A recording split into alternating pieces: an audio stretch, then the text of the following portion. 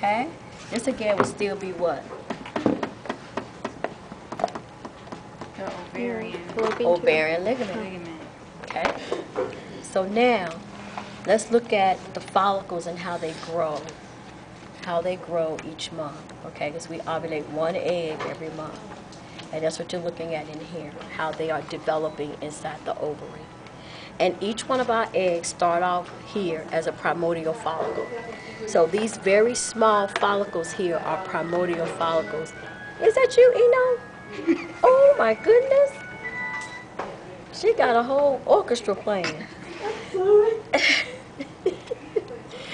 so my primordial follicle will become this.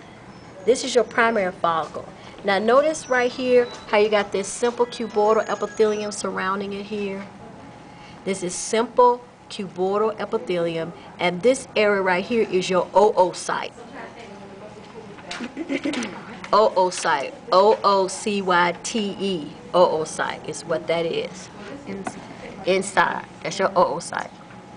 Now, this primary follicle will become this. This is a secondary follicle. Now, the reason I know this is a secondary follicle is number one, I see two layers of cuboidal cells, and then I see this little black slit. That's called the antrum. That little black slit is called the antrum.